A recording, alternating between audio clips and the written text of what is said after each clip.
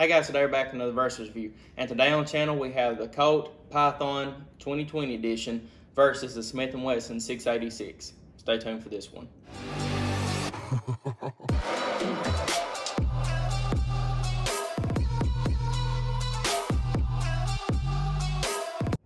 Alright guys, we're back. Once again, today we're going to be having the uh, Colt Python versus the Smith & Wesson 686. As a disclaimer, this is actually a 629, not a 686, but it's uh, close enough to it whenever it comes to how it looks and everything, and I was just going to use it as a placeholder. All footage of me shooting is with a Smith & Wesson 686. But uh, without further ado, we'll go ahead and get started. Uh, first off, we'll start with looks right off the bat, as you can see, there's a big difference in between both of these guns. You have a uh, vented rear barrel on the top of this one, and you have a full barrel on the top of this one. Uh, to me, like I said, beauty's in the eye of the beholder. Uh, I would rather have the Python and how it looks than the Smith & Wesson 686. Both guns are uh, very well balanced, don't get me wrong. And like I said, this is a 44 Magnum, so it will be a little bit heavier. But both guns are very balanced, very well, and uh, both are very nice guns. But I would rather have, in the end, whenever it comes to how they look, I would rather have this uh, Colt Python than the Smith & Wesson 686. So going to how smooth they feel. Uh, depending on what 686 you have, as you all know, I've actually already got a, a, a versus video up of the Colt Python versus Smith & Wesson 686, but that was a 1986 Colt Python and a 686-2 uh, 357 uh, Smith & Wesson. So I would say, uh, you know, if you haven't seen that one, go view it, but that's with the old Python. And I was wanting to do uh, new Python versus the 686.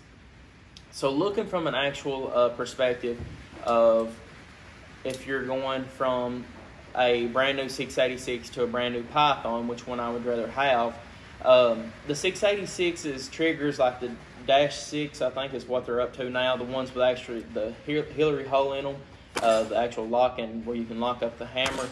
Uh, the double action on them are horrible, and I did not like them at all. You have to work on them whenever you leave from factory. They're just the double action's very stiff, and it's not good.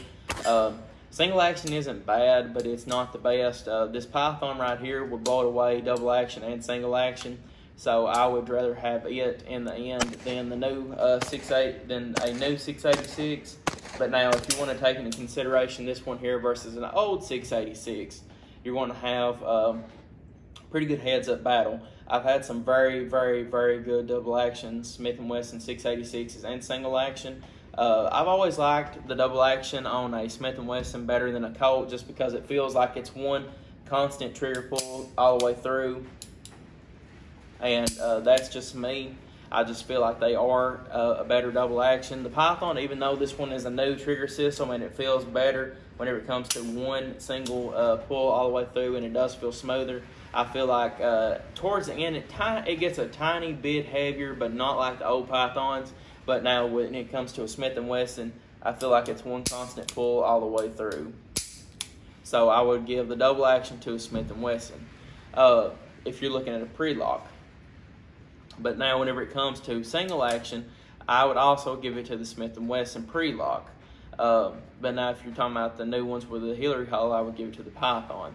But uh, my Python, for some reason, uh, the single action, single action, does not feel as good as uh, on some on the other 686s I've had. Uh, this 629's double action, you breathe on it and it goes off. I mean, just straight off the bat, this one right here has got the better double action for sure, 100% than this Python. But, um, and even whenever in taking in consideration all the other 686s uh, pre-locks I've had, they're better than this new Python and uh, they will run you about eight hundred dollars. Whenever this one right here at the time has got MSRP fifteen hundred. So, uh, you know, whenever you're taking in consideration, would you rather have this one than that one than a pre-lock? I would probably say uh, in build quality and everything like that with the double action and single action, I would probably take the 686 pre-lock than the new Python. Uh, next up, you have pretty much build quality.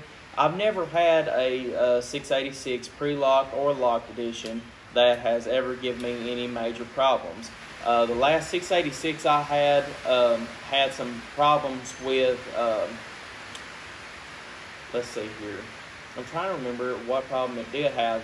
Uh, it had like primer strike problems because it had an actual trigger job done uh, out of factory.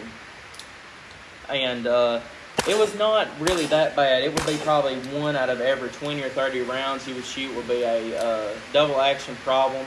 And sorry if you hear that background noise. It's uh, raining now while I'm filming. I wouldn't. I didn't think it was supposed to be raining today, but sorry about that.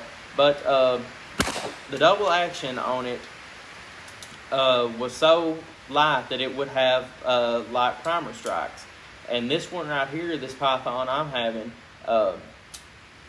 uh, between every uh, probably two to three rounds I'm firing, it's going to have at least a one double action uh, failure to fire, as you can see right now. Uh, I'm actually about to send this uh, pistol back to Colt, and not only that, uh, at one point, as you can see, also uh, the trigger uh, is going, or the hammer is going back and forth, and the cylinder will not will not rotate, and I have no clue what happened with that. So uh, this Python is 100% going back to Colt, and hopefully I will have me a new one, or they will fix it, or something else. I'm aggravated up one side of the wall and down the other with this Python right now, but I still was wanting to put this uh, video out for you all and try and be as unbiased as possible. Um, whenever you take into consideration how uh, beautiful it is, the grips will also play a uh, point in it. Uh, the old Python grips I thought was beautiful. These right here are nice too, but I really don't enjoy um, these new grips as much as I did the old Python grips. If you have a pre-lock 686, I would rather have had them grips on it than these just because of how well they fit my hand and everything. But if you take into consideration the new grips on the new 686s and how uh, the rubber feels and all that, they're still okay, but I would rather have wood grips. So going head to head wood versus Pachmayr, I would rather have wood grips than the Pachmayr grips that come on the new one. But if you was going from a pre-lock 686 standpoint, I would rather have the old uh, grips on it than these new grips on this Python.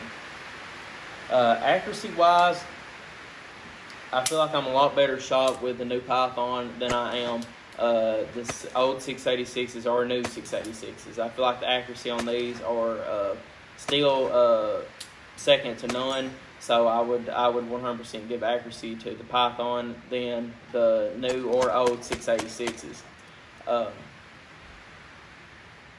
that's really about the only thing that uh, I can really think about anything else that you would uh, want to compare them with. Uh, maybe after I get the my new Python or this one fixed or sent back or get a new one in, I'll do another review if I can find the 686, be a little bit more in depth on them side to side view probably would be better. But now, um, if you're looking at, here's going to be the big thing: fifteen hundred dollars or six fifty to seven hundred for a new uh, locked six and six eighty six. Which one would I do? Pretty much meaning that you can buy two 686s for the price of this one. Uh, I would say the 686 over the Python. Pythons are smooth and Python is nice, don't get me wrong, and it's more beautiful. But if you're coming from an actual standpoint of which one will get the job done better and which one will do just as better a job and price point, I would say uh, the 686. But now, if both of these was the same price, if this was $750 and um, or $700 and the new uh, or and a new 686 was $700, I would say the Python over it.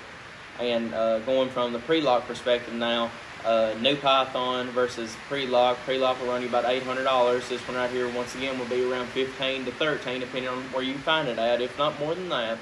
Uh, I would still rather go with a pre-lock 686 for $800 than uh, the Python for 1500 That's just my, my personal opinion.